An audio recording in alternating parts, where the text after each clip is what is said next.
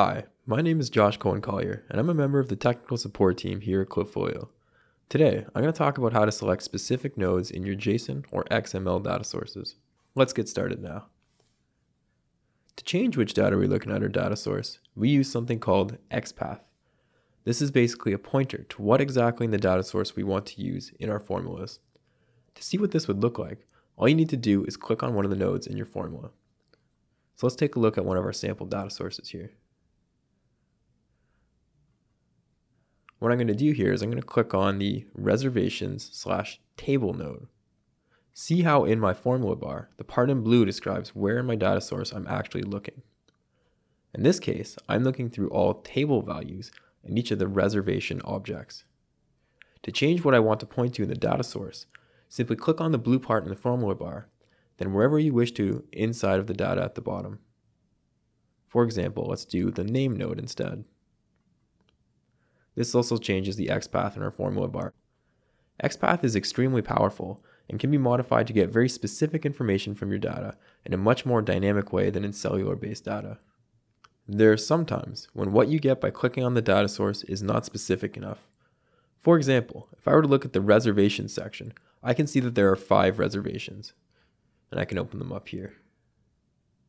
If I click on the time node, what this gives me is the time value for all of the reservations, which might be what I want. However, maybe what I want instead is the time for just this particular reservation only, and not all of them. There's no way to differentiate between this just by clicking, so we need to take a different route, which is modifying the XPath.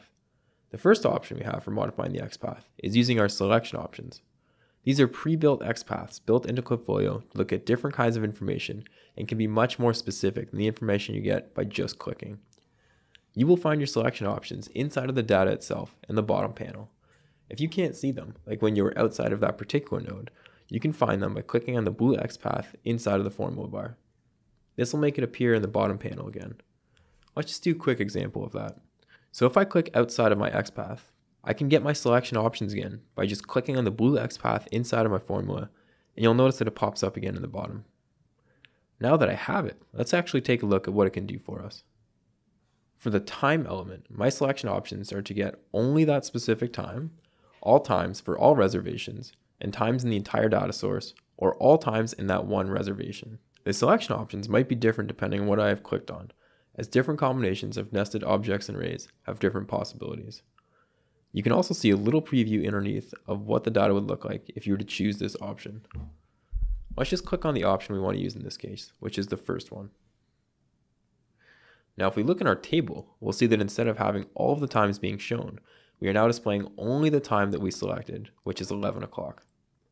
Let's try another example with our selection methods, using the name element instead. So I'm going to click on reservation slash name. And if I do that, we can see that it's showing the name of the three people who left their name for reservations. However, if you take a look at the very top element, you'll notice that there is another name, which corresponds with the name of the restaurant. Let's say that for some reason, you also wanted to get this name and not just the ones in the reservations. You can use the selection options to get all names instead of just the ones you clicked on. Now we can see that we're now showing the first name, which is the name of the restaurant, as well. Selection options are great for beginners, however there are some occasions when you can't use them. This is either because what you needed is too specific, such as getting data with conditions, or other examples. An example situation would be if I wanted to get all of the names for reservations that had more than one table.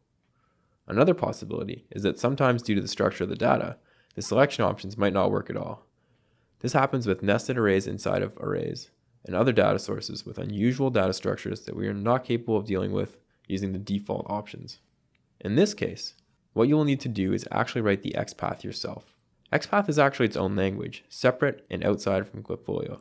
So if you ever are looking for something specific, there's some great online resources to help teach you. In addition, the Advanced 500 series webinar covers some more advanced XPath notation in detail. Thanks for tuning into this lesson, and I hope you guys learned something. If you have any more questions, feel free to reach out to us at support.klipfolio.com or also tune in to one of our 400 or 500 series webinars.